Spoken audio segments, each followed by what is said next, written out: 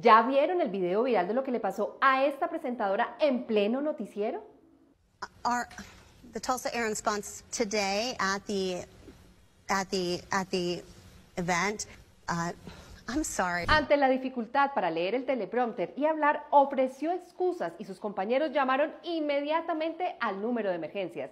Julie tuvo una señal de alarma de un ataque cerebrovascular o más conocido como trombosis o derrame cerebral. Todos deberíamos actuar de la misma manera y para tenerlo claro, aprendamos la estrategia corre. ¿Qué te pasa en la cara? No es normal que su perro le hable, como tampoco lo es que un lado de la cara se caiga de manera repentina. Puede ser un ACV, ataque cerebrovascular. También puede comenzar a hablar raro, presentar alteración de la visión y tener debilidad de un brazo o pierna.